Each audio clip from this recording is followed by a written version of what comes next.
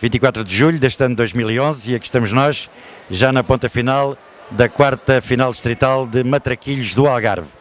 Evento que está, está a decorrer no Ria Shopping e para que os nossos espectadores da web não pensem que os políticos só gostam de facto de ir aos impostos dos contribuintes, aqui temos dois autarcas, afinal a classe política mais prestigiada deste país, porque é ela que está mais em contacto com as populações e lhes proporciona as condições de bem-estar que há muito vem reclamando, mas que nem por isso deixam de ocupar os tempos livres na procura de, além de incentivar eh, os, seus, os seus munícipes eh, no desempenho de atividades paralelas à sua atividade profissional, eles também dão o exemplo.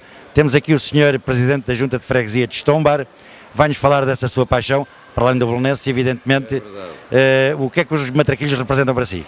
Representa muita coisa, é um hobby que eu tenho há muitos anos, desde miúdo que jogo matraquilhos, eh, portanto perco horas, enfim, a jogar matraquilhos e penso que a malta nova eh, devia também se jogar esta modalidade, que é uma modalidade que está a perder, mas penso que, que a Bilhar Sul e a Associação Matraquilhos do Algarve está a dinamizar isto de maneira a nível distrital para que a, juventude venha até nós e que proporcione bons momentos, que o Matraquilhos também proporciona bons momentos. Não há dúvida. E diga-me, na sua freguesia existem de facto alguns locais, poucos, muitos, que tenham esse equipamento para os mais jovens também começarem a praticar? Há muitos lugares lá em Estomba, por exemplo, o Clube de Futebol Estombarenses, que é represente, tem lá mesmo os matraquilhos. Uh, temos lá também o Zé Gato, temos lá várias casas de, de comerciais que têm matraquilhos para, para praticar.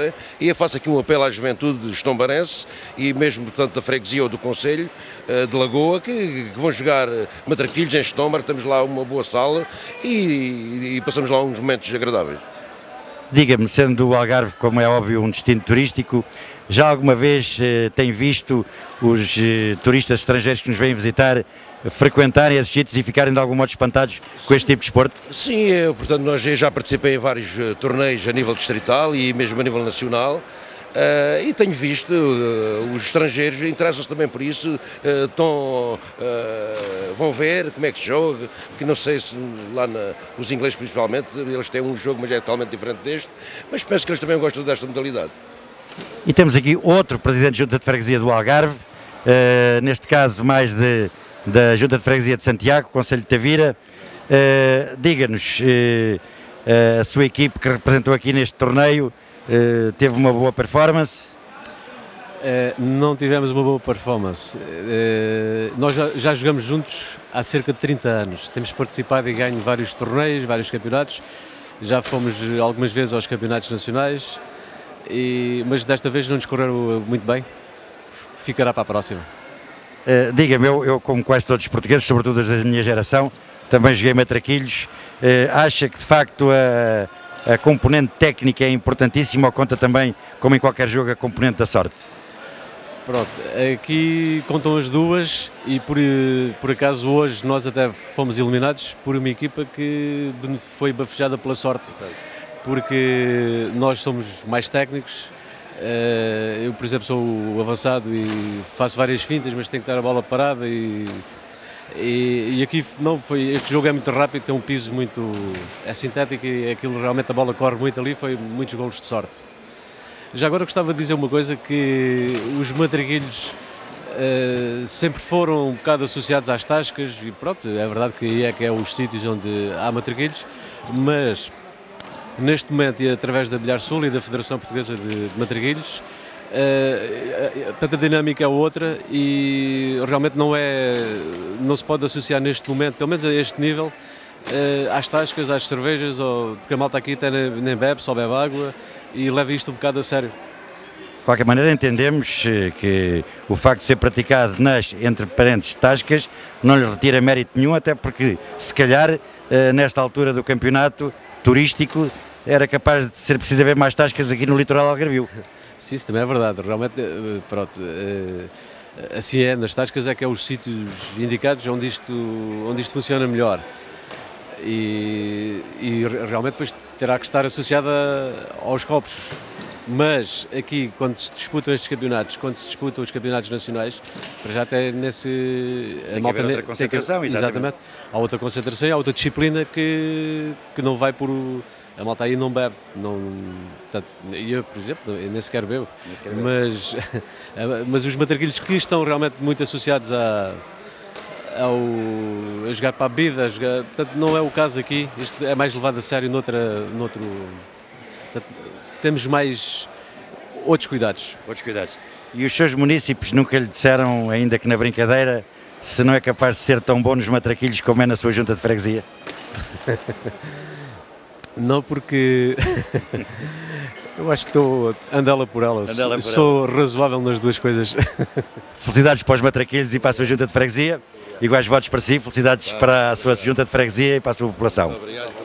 E foram estas as intervenções de dois presidentes de junta de freguesia que também estão no Campeonato Distrital de Madraguilhos. Continuamos esta ronda de intervenções na quarta final distrital de Matraquilhos do Algarve, eh, organização do Clube de Matraquilhos do Algarve, Associação de Matraquilhos do Algarve, aliás, eh, e é importante que os nossos espectadores da web percebam que, eh, mesmo nas zonas litorais do Algarve, como é o caso do Olhão, e apesar de estarmos em plena época turística, na época alta do turismo, que as populações continuam a dedicar-se às suas atividades normais, o que no fundo só vem enriquecer a nossa oferta turística.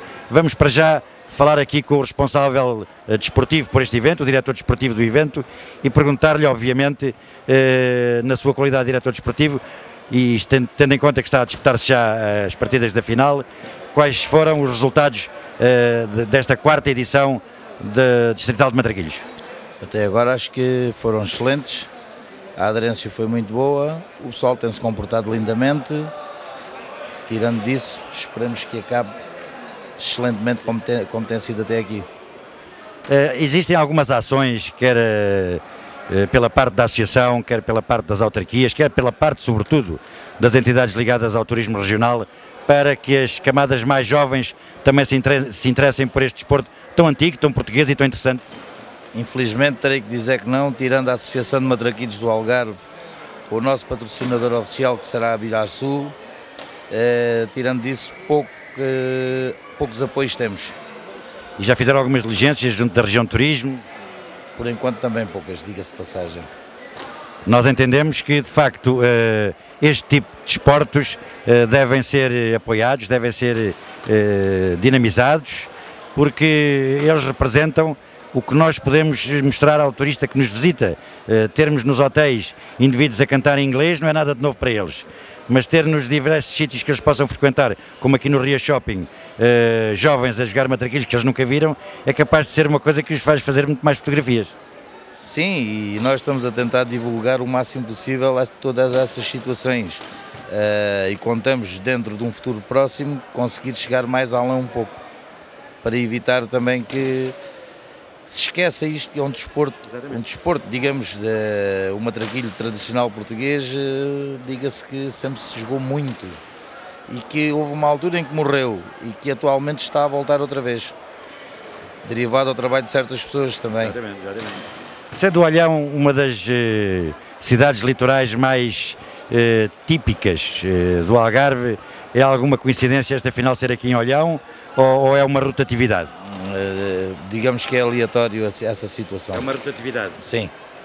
Então, parabéns por, por mais esta organização e oxalá que para o ano tenha mais inscritos, mais atletas e, sobretudo, que a modalidade esteja mais divulgada.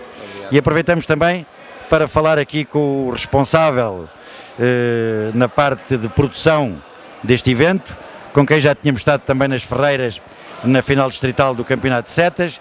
Estamos agora aqui na final distrital eh, do Campeonato de Matraquilhos e ocorre-me já uma pergunta, independentemente de, de, de, de dos senhores, o Bilhares Sul, ser uma empresa que se dedica à colocação destes tipos de equipamentos, mas, e do nosso ponto de vista muito bem, a vossa empresa não se limita a colher os lucros da vossa atividade, mas investem no fomento destas atividades. As setas, enfim, têm um cariz mais britânico, mas o matraquilhos 100% português, tanto quanto nós possamos saber, e que no fundo leva a crer que a vossa empresa dá um exemplo de, de dedicação uh, à fidelização dos vossos clientes. Tentamos que isso aconteça, não só nos matraquilhos, como no snooker, como na, nos dardos.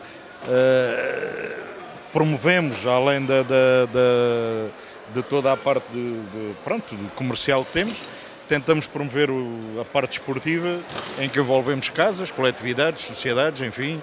Tentamos envolver também muito uh, toda essa parte esportiva na parte comercial. Não é?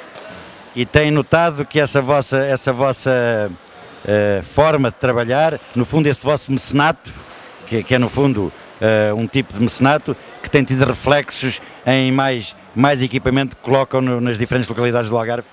Não só a nível de equipamento, como de, de epá, das próprias pessoas, por exemplo, neste, neste, neste campeonato que está aqui a terminar, eh, temos aqui uma série de gente interessada em aliás, gente que não fez parte deste campeonato e que está interessada em entrar no próximo. Aliás, estão-nos a perguntar quando é que há outro, quando é que é, como é que é e por aí fora. Né? Há todo o interesse, não só da, da, da parte das sociedades ou de casas comerciais, eh, em, entrar neste tipo de evento. Né? Portanto, a vossa mensagem para os empresários, e são muitos, infelizmente, que só existem no Algarve para poder colher os seus lucros e não investem nada na promoção das próprias comunidades locais, o vosso exemplo é que investindo na dinamização de atividades para as comunidades locais, o vosso lucro não é afetado por, isso, por esse motivo.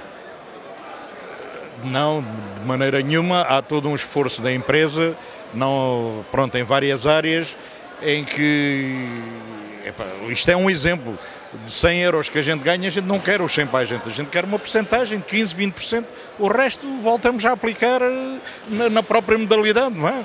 E, e ao, ao, dinamizarmos, quanto mais gente jogar, eh, a gente contenta-se com uma porcentagem pequena, a gente exatamente, não, exatamente. não, queremos, não queremos uma porcentagem alta. Alargando o leque. Ora bem, o nosso, o nosso objetivo é esse. Por exemplo, estamos aqui num campeonato em que implantamos uma mesa nova, que é a primeira vez que está, está, está a ser jogada, vá, que desenvolvemos isto com um fabricante do Norte, uh, que a aceitação está a ser muito, muito interessante e, e, neste momento temos convites para várias partes do Algarve, é? várias partes do Algarve neste momento. É? Portanto, digamos que até neste tipo de equipamento se podem fazer melhorias, se podem fazer atualizações e como neste caso que acabou de frisar, se podem ter mesas à disposição dos, dos, dos participantes, dos desportistas no fundo, sim, sim. que estão no desporto, que lhes proporciona até melhores resultados. A ideia é um bocado essa, né? é melhorar, melhorar o equipamento para que a parte esportiva também melhore. Né?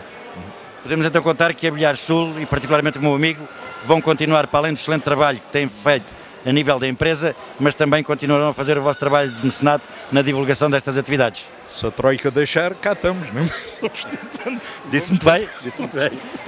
Vamos tentando, isto é um trabalho que já tem uma série de anos, agora está um bocado mais visível, mas isto não, não surgiu há dois ou três anos. A empresa tem, tem à volta de 18 anos e há 12 anos que andamos a fazer isto. Temos estado a, a melhorar, também aprendemos com os anos e não há dúvidas que ultimamente os eventos têm outra qualidade, temos todo um, um know-how que temos estado a adquirir ao longo dos anos. Né? E cada evento para nós é uma satisfação, cada um melhor que o outro. Né? Muitos parabéns, muitas felicidades e muito obrigado por esta entrevista. Obrigado nós.